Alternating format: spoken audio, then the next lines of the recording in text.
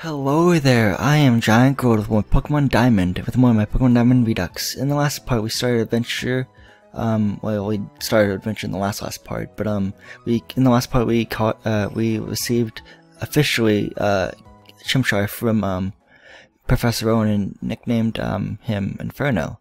But now we're on Route 2 or 3 after talking to our mom, saying we're going to be on an adventure. We have to deliver Sam's parcel for him, which he's in Jubilife City probably by now. But yeah, here's Dawn. Oh, that's right. Stephen, I haven't shown you how to catch your Pokemon. I, I'll demonstrate how to catch your one. So, I'll demonstrate how to catch one, so just watch me, okay? Yeah, this is your, this is your, um, tutorial that's always, you know, in Pokemon games for the two of you who do not know how to catch your Pokemon. Especially if this is like your first Pokemon game ever being played, so it's just there for the newbies and the rookies.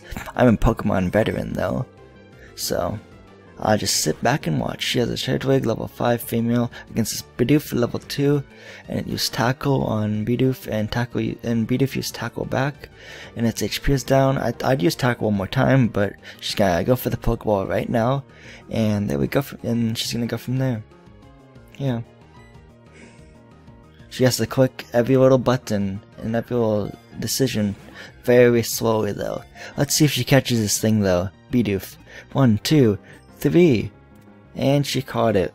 She caught a Bidoof that she never uses throughout the game, at least when we battle with her. But that's that, I guess.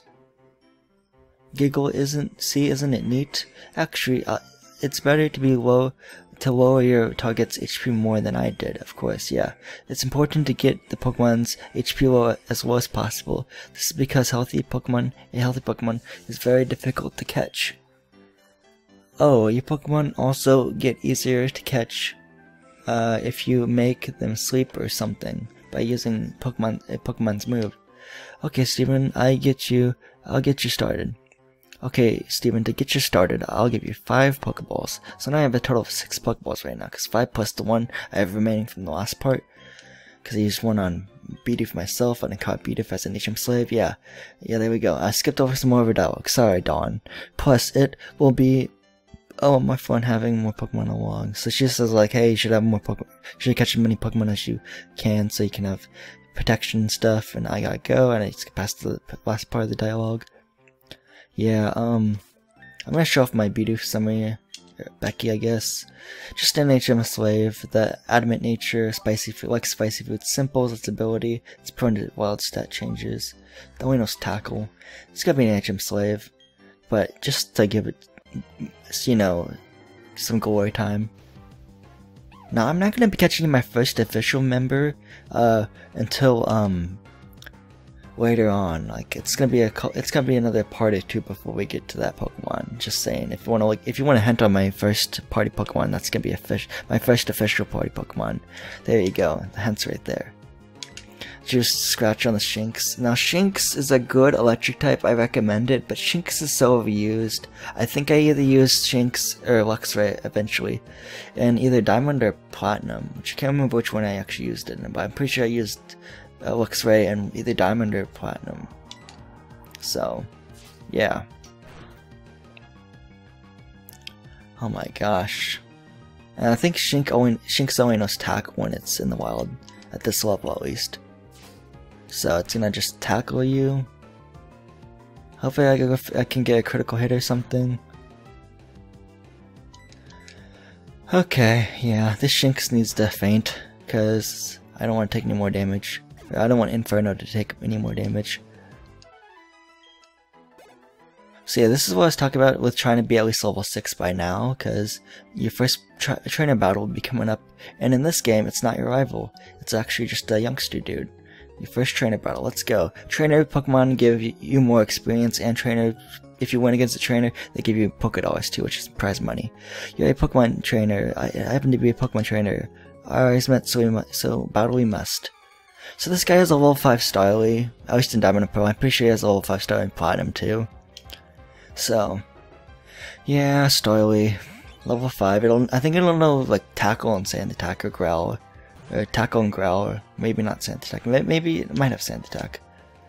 So, You want to be level 6 to have the uh, level advantage at least.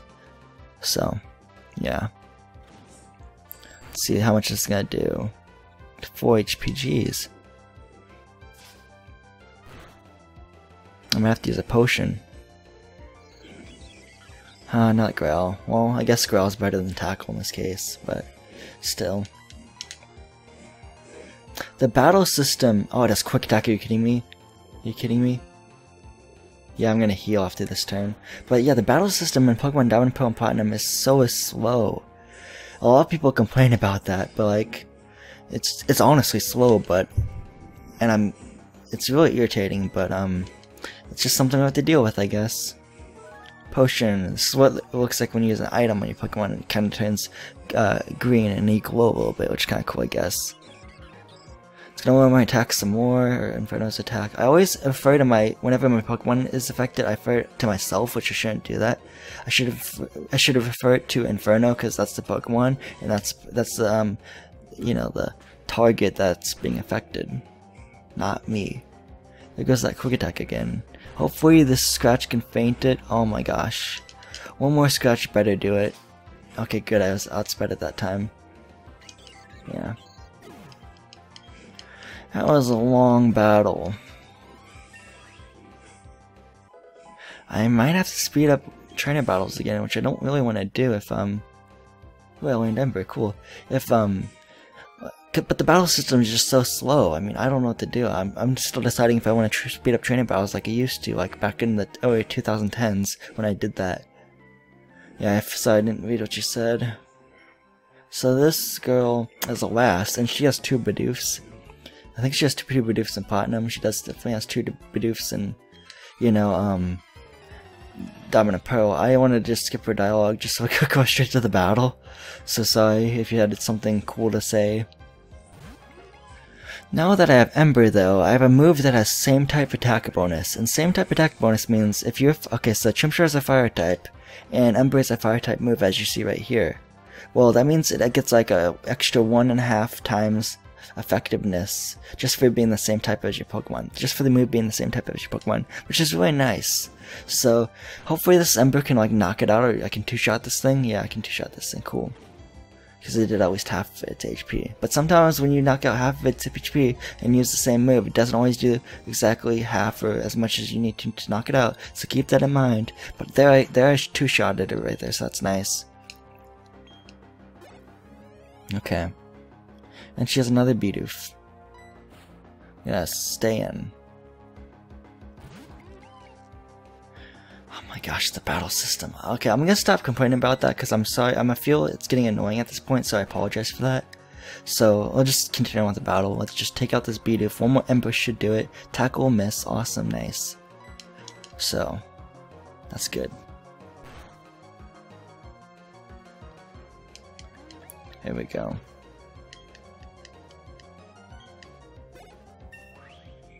Level 8, nice.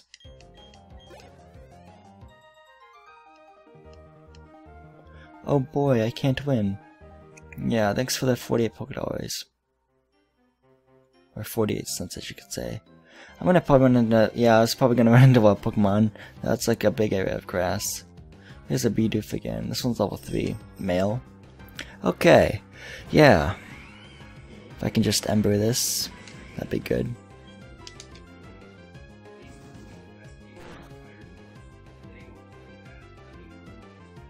Got critical hit. Nice.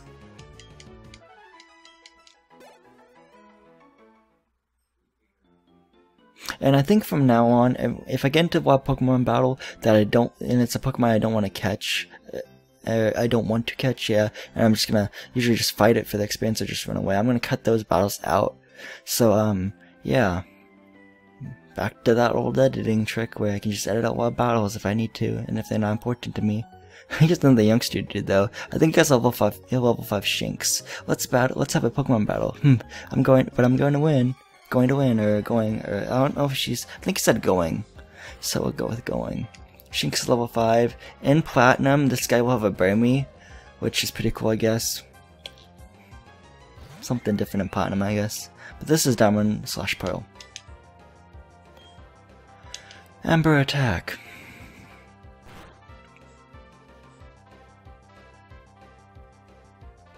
Tackle miss, okay, I'll take it, I'll take it.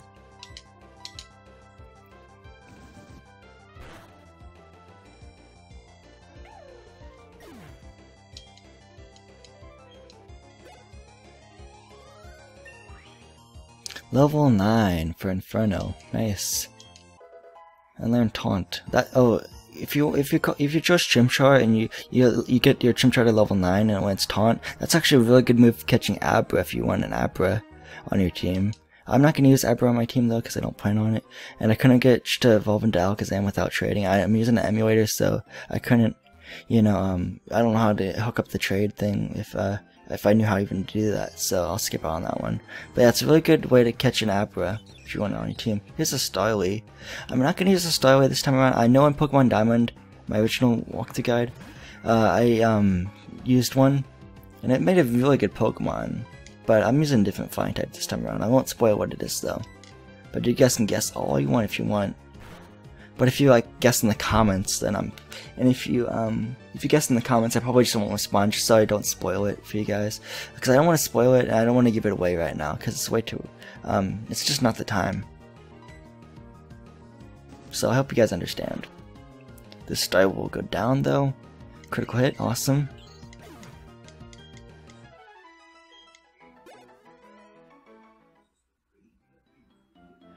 Okay, here's a paralysis heal. I was guessing that's a paralysis heal. It's a potion, actually, so I was wrong. I was guessing, I was guessing my paralysis heal. Of course, I ran another wild Pokemon battle.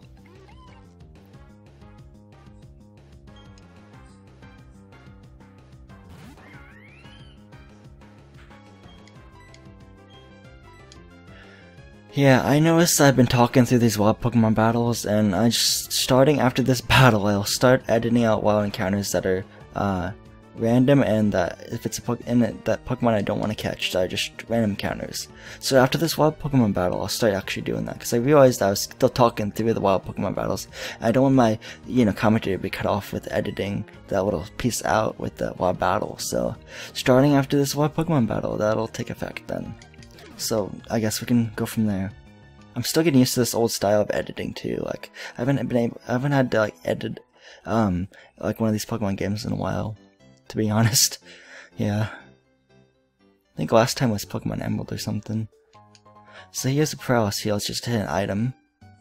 But yeah, I'm gonna I'm gonna end the part right here. So this has been Giant Grotle. This has been the end of my Pokemon Diamond uh, Redux Walkthrough Guide part. The next part we'll take on uh Jubilife City, which is you can hear the music, so it's coming up. So this has been Janko again. I would like to thank you again goodbye, and hope to see you guys in the next part of my Pokemon Diamond Redux walkthrough guide.